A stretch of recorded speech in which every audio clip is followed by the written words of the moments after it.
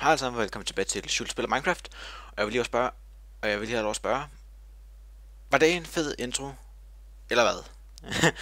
ja, øhm, jeg brugte faktisk ikke specielt lang tid på at øh, lave introen, men jeg synes alligevel lige, at øh, jeg skulle have en ny intro til Schultz spiller Minecraft, fordi at, øh,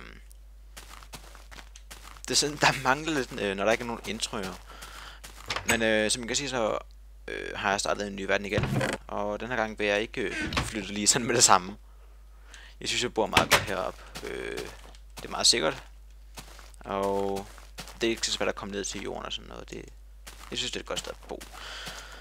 Så jeg fik startet verdenen og fik filmet det der til introen, hvor det er, jeg, hvor I kunne se, at jeg løber et eller andet sted derovre fra og kommer den her vej og op her.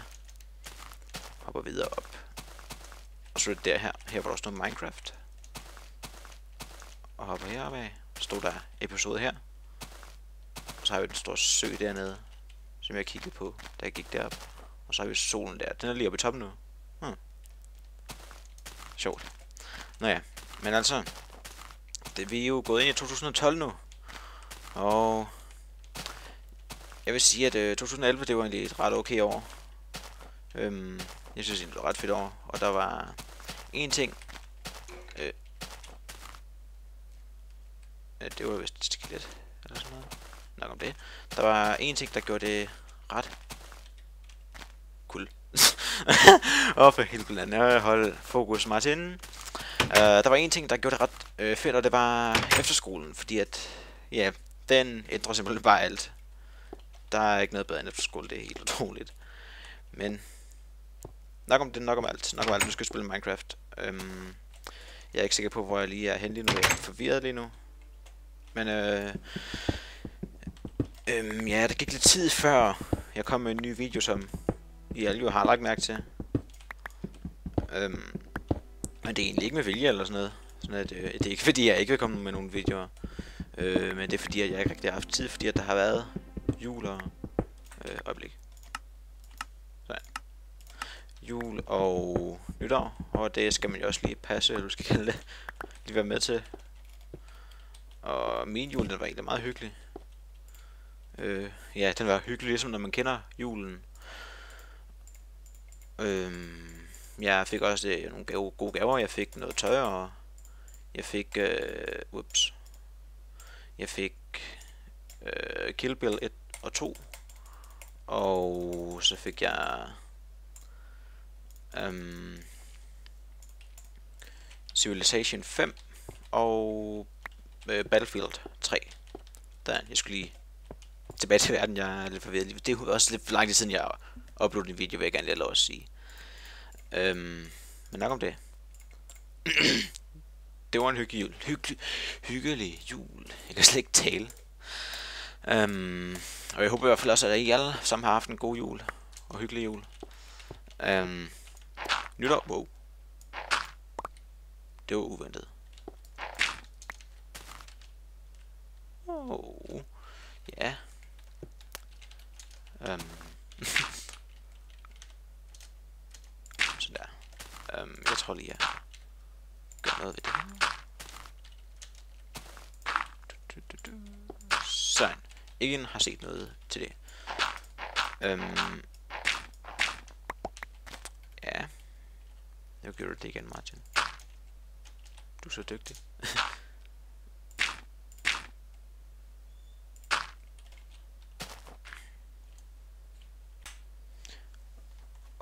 og kom... Mm, øh, øh, tilbage til verden. Der kom min far lige ind i... på et værelse, og sagde godnat, fordi klokken den er 22.44 lige nu. Så ja, det er lidt sent egentlig. Men nok om det. Øh, det er det hul, skal jeg lige have lappet, men jeg fik lige højt på det hernede, så jeg tænkte lige, oh my god, yay! Nå, øhm, han sagde godnat, og jeg så aftalte lige et tidspunkt, hvor jeg lige skulle smide seng og sådan. Sådan her, der bo her. øh, ah, jeg, men jeg har i hvert fald en øh, time at filme i, så det er godt nok. Jeg er bare helt forvirret lige nu. Det er da galt. Jeg kan slet ikke finde ud af noget overhovedet. Jeg gik herover for at... Øhm, hvad var det nu? For at få fat i noget bambus, og så begynder jeg at samle sand. Det giver også meget mening.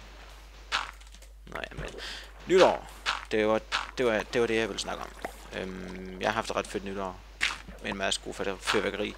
Vi købte sådan øh, tre store øh, stykker fyrværkeri til... Og en kostede 100 kroner eller sådan noget. Så købte vi tre for øh, 150. Eller sådan noget, mener jeg. Det er egentlig ret vildt, når jeg tænker over det. Men øh, det var godt nok nogle dårlige raketter. det var... En, det, det var... Ja, det er ubeskriveligt, så dårlige det var. Det var helt utroligt. Øhm, så prøvede jeg så også at gøre noget, der var ret dumt. Og det var at springe en hat i luften. det var så dumt. Øh, øh, vi satte en hat på øh, en, en, ikke en sådan en, en, en kasket eller sådan noget, bare sådan en øh, plastik nytårshat på toppen af en raket, og så fyrede raketten af, og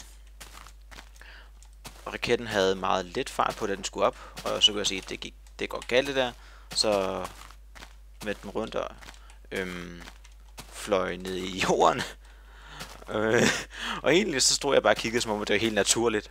Jeg tænkte slet ikke over, at den faldt dernede, og så da den sprang, så tænkte jeg bare, oh my god. Det var så bare det. Jeg tænkte slet ikke over, hvad det lige var, der skete. Øhm, øh, så der fandt vi ud af, at vi ikke skulle gøre det igen. det var ret sygt. Men sjovt alligevel. oh god. Nå ja. Det så sådan mest, det var den mest, det, det synes jeg, det var det sjoveste nytår, synes jeg. Åh, oh, mand. Men ja, jeg har haft alt for travlt med alt muligt til at kunne uploade nogle videoer desværre her for tiden. Nu har jeg til gengæld tid, det, så må man bare nyde den tid, man har jo til det. Og vi må nyde den tid, vi lever i, fordi at øh, 2012, det er jo det år, hvor vi alle sammen dør. Øh. jeg synes, det er så latterligt. Øh, vi er alle sammen dør, fordi vi går ind i en ny tids, eller, eller en ny æra, æra, eller hvad det hedder. Jeg er helt ligeglad med, hvad det hedder. Jeg synes bare, det er latterligt, at nogle folk tænker det. Men ja, der er jo nogen, der skal være pessimister. Og øh, lyseslukker, hvad vi ellers skal kalde det.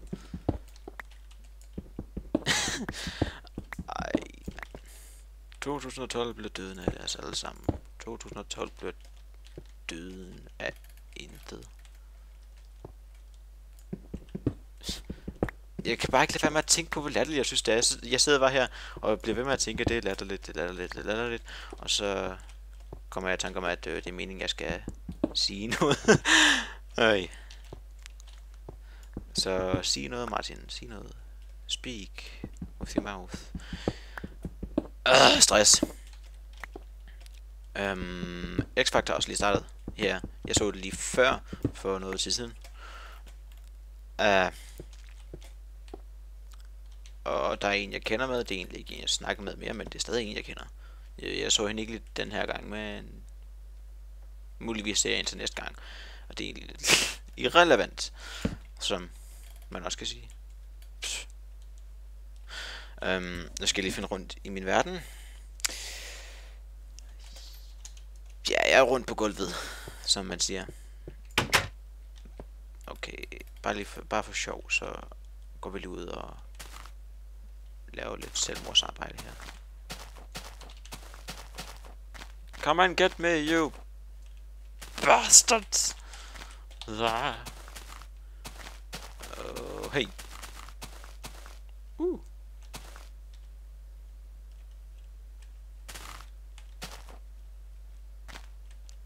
Du der. Hej med dig. Du er grim.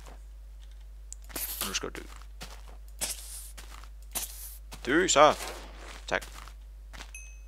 Many thanks. Jeg tror, jeg går op igen.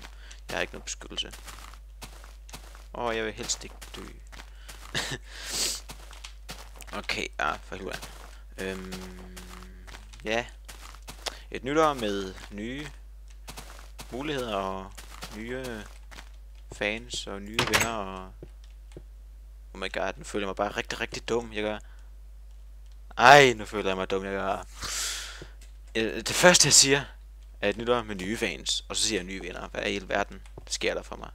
Nu føler jeg mig virkelig, virkelig, virkelig, virkelig, virkelig dum. Ej, nej. Ja, okay. Lad os gøre det forfra. Uh, et nytår med nye venner og nye fans og nye haters. ja, haters, det er virkelig noget, som jeg ikke forstår. Haters og trolls, det er sådan næsten det samme. Skal jeg mene, det ved jeg egentlig ikke helt. Jeg ved ikke så meget om det. Jeg er også ligeglad. Men, øhm, jeg forstår egentlig ikke rigtig øh, haters og trolls. Øhm, hvad er det sjove i at skrive alt muligt øh, på andre folks kanaler, som de egentlig helst gerne vil være fri for, at du skriver? Jeg kan ikke rigtig se det sjove i det, men altså, ja, det er jo så bare mig. Mm, Nej, helt ærligt, hvorfor... Altså, ja, det er også fordi, jeg har også nogle haters på min kanal. Øh, og jeg forstår jeg ikke helt. Fordi jeg har jo aldrig gjort nogen noget, jeg har aldrig... Øhm, slået nogen, eller sagt noget grimt til nogen, som... Som der lige sådan skulle skrive noget på. ja, jeg kan godt forstå, hvad jeg mener. Jeg er svært ved at forklare, ved at forklare ting, jeg ser lige nu. Undskyld. Men øh, jeg forstår bare ikke, hvorfor I gør det.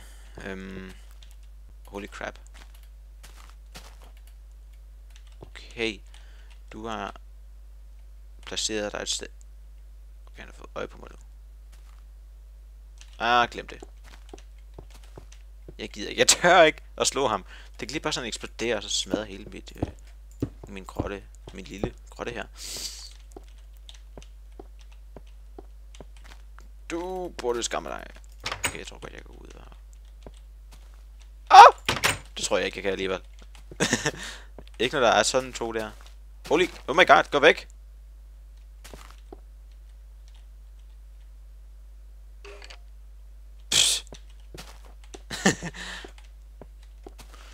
Nå. Videre i livet. Mm.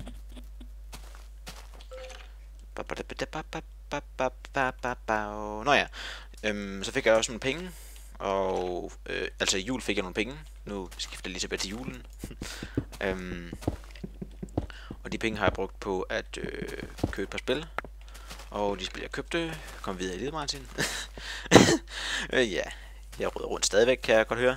Men de spil, jeg købte, det var... Øh, det første, jeg købte, det var Deus Ex Human Revolution. Og det var sådan en øh, special edition ting, så jeg fik... Jeg kigger lige på kassetten og ser, hvad der er. Øh, en ekstra mission, der hedder Tongs Rescue. Og en granatkaster åbenbart.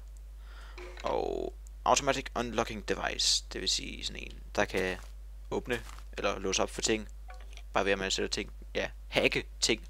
Jeg ved ikke, om I kender spillet, men jeg der kender det, det er sådan en ting, der kan hacke ting automatisk. Og en Remote Detonation Explosive, det vil sige sådan en, øhm, noget øh, eksplosivt, jeg kan kaste, og så kan jeg få den til at springe i luften, når jeg vil have den til at springe i luften. Og så fik jeg sådan en øh, Huntsman Silverback, som er øh, en shotgun med